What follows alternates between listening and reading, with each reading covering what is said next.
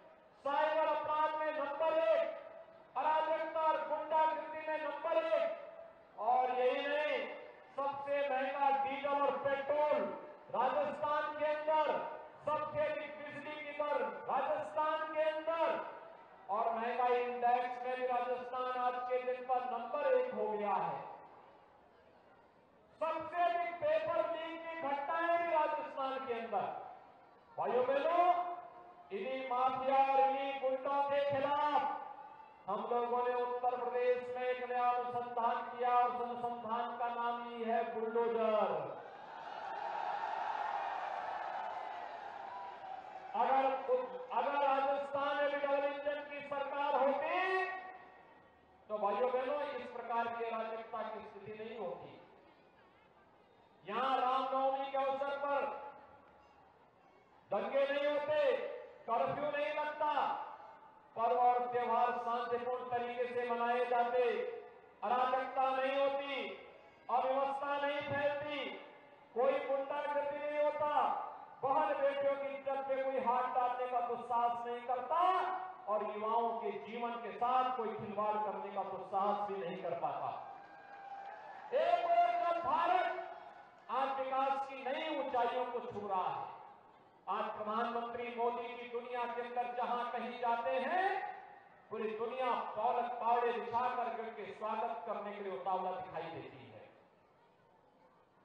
ये एक सौ बयालीस करोड़ लोगों का स्वागत है। पूरा देश गौरवान्वित होता है। भारत की सीमाएँ सुरक्षित हुई हैं आज कोई आतंकी वारदात नहीं हो सकता है कर नहीं सकता आतंकवादी और आतंकवादियों के आकाओं को ही पता है कि अगर आतंकी घटना को अंजाम दिया तो फिर इसका खामियाजा क्या होगा क्योंकि ये नया भारत है छेड़ता नहीं है लेकिन कोई छेड़ता है तो उसको छोड़ता भी नहीं है। ये नया भारत है। ये समस्या नहीं समाधान पर विश्वास करता है। समाधान भाइयों बहनों, आपने देखा होगा, समाधान किस रूप में समाधान हर समस्या का समाधान कांग्रेस ने आतंकवाद किया मोदी जी ने धारा 370 को समाप्त करके इसकी समस्या का समाधान दिया कांग्रेस ने नक्सलवाद किया मोदी जी ने गरीब कल्याणकारी योजनाएँ देकर के इसका समाधान दिया कांग्रेस ने अराजकता की, मोदी जी ने कनेक्टिविटी देकर के इसका समाधान दिया आज देश के अंदर वर्ल्ड क्लास इंफ्रास्ट्रक्चर बन रहा है। Highway, railway rapid rail metro airport हवाई चप्पल पहनने वाला भी हवाई जहाज़ की यात्रा करेगा। यह मोदी जी ने साकार करके दिखाया है। इंडस्ट्री लग रही है। इसके लिए नए नए स्कीमें बन रही है। एक नया भारत है। सुरक्षा का वातावरण देश के अंदर अच्छा लेकिन कांग्रेस शासित राज्यों में यह अराजकता की ओर बढ़ चुका है। और इसलिए भाइयों बहनों में आज चुका आया हूँ आपके पास। एक तरफ़ विकास मोदी जी के नेतृत्व में, दूसरी तरफ़ गरीब कल्याणकारी योजनाओं का लाभ भी कितने बड़े पैमाने पर। हर गरीब के लिए आवास की सुविधा, चार करोड़ गरीबों को मकान दे दिए, बारह करोड़ गरीबों के लिए शौचालय बना दिए, बारह करोड़ अन्नदाता किसानों को छह हज़ार रुपए प्रतिवर्ष प्रधानमंत्री किसान सम्मान निधि का लाभ दिया जा रहा है। साढ़े नौ करोड़ गरीबों को उज्ज्वला योजना के कनेक्शन दे दिए गए, और यही नहीं विकास की हर योजना का लाभ चाहे वह हर घर नल योजना के माध्यम से हो, चाहे वह कोरोना कालखंड समेत अगले पाँच वर्ष के लिए पाँच किलो राशन हर गरीब को उपलब्ध कराना 80 करोड़ गरीब भारत के अंदर प्रतिमा प्रधानमंत्री मोदी जी के द्वारा दिया जाने वाले राशन की सुविधा का लाभ दे रहे हैं। भाई बहनों, ये भारत विकास भी कर रहा है, सुरक्षा भी है सुशासन भी है। युवाओं के लिए रोज़गार भी उपलब्ध करवाने का कार्य कर रहा है। तो साथ साथ गरीब कल्याणकारी योजनाओं को आगे बढ़ाने का काम भी कर रहा है। और ये नए भारत का ही परिणाम है भाइयों बहनों। ये नया भारत ही है।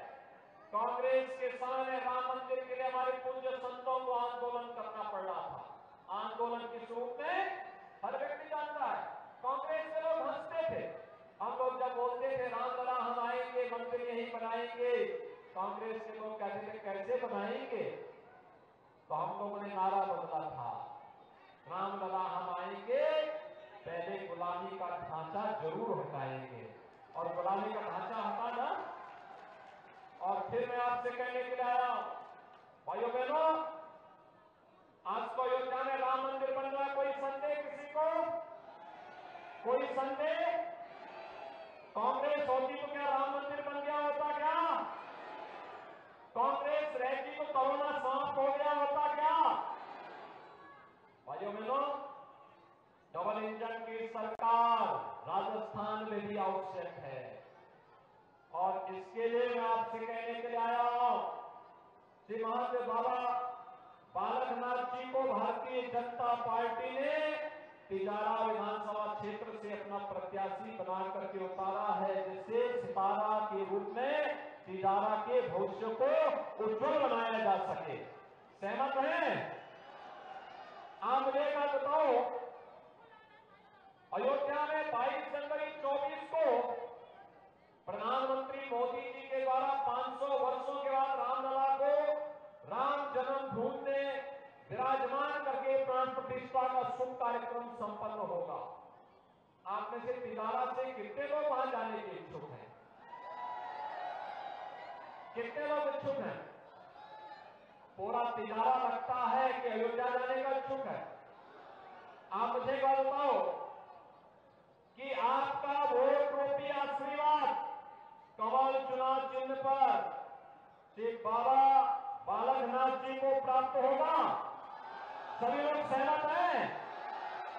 और मैं भी बाबा बालकनाथ जी से कहूँगा कि जयपुर में शपथ लेने के बाद 22 जनवरी के बाद तिजारा के राम भक्तों को लेकर के वे अयोध्या ज़रूर पधारे।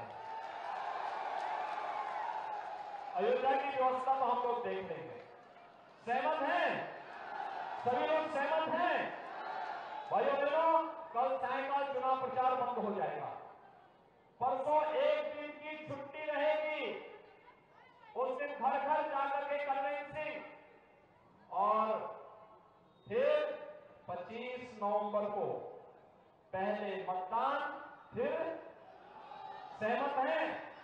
सभी लोग सहमत हैं भारी बहुमत से विजयी बना के भेजेंगे सभी लोगों की जमानत जब्त करेंगे भाइयों बहनों इस अवसर पर मैं यहाँ के पूर्व विधायक श्री मामन सिंह जी का हृदय से धन्यवाद करता हूँ मेरा उनसे आज से संबंध नहीं जब मैं सांसद था तब से मेरा उनसे संबंध है वे लोकप्रिय विधायक के रूप में काम किए और जब बाबा बालकनाथ जी की घोषणा हुई उन्होंने कहा कि मैं भी बालक बालकनाथ जी के साथ खड़ा होकर के उनको समर्थन करता हूँ आज मैं उनका स्वागत करता हूँ इस मंच पर आए हैं।